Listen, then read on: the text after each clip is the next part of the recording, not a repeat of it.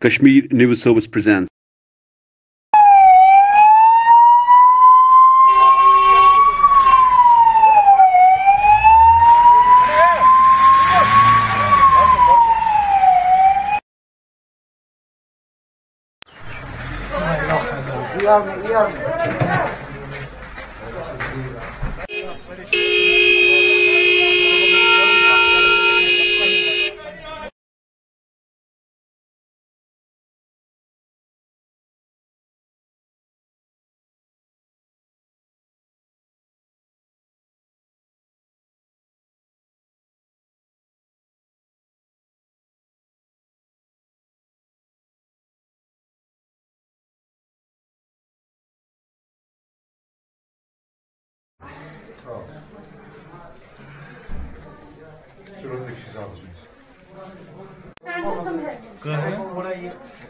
Alto eight hundred का